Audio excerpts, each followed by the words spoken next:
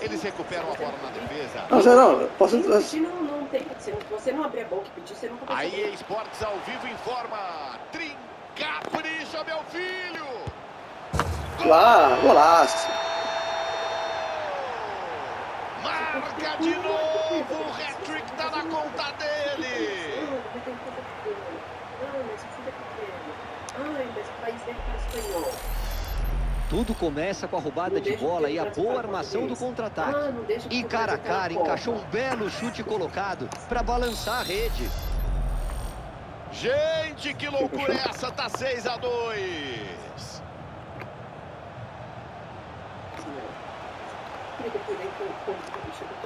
Ele quase mata a galera do coração com o carrinho na área. O circuito, o curve, aquela caixa. Recebe Você Pedro. Circuito é meu. pra você.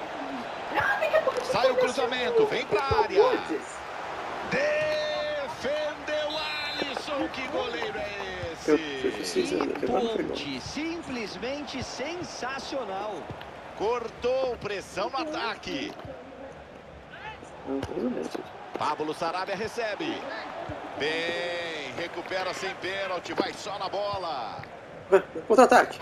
Vinícius Júnior pode partir, tem espaço para isso. Vinícius Júnior dá para bater. Faz a defesa, tem sobra.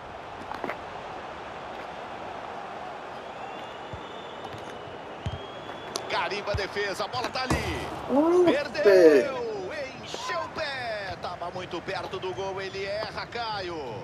Seria melhor ele ter só tirado do goleiro. Optou pela força e acabou perdendo.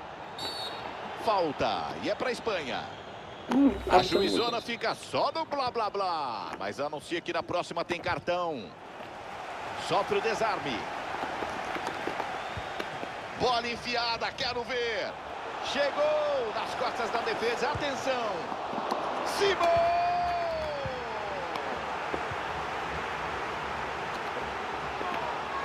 Eles não estão satisfeitos com a decisão do árbitro, Vilani. Para eles o pênalti foi claro e por isso estão reclamando. Lateral aberta para o Brasil avançar. Bola cruzada para o Neymar. Goleada!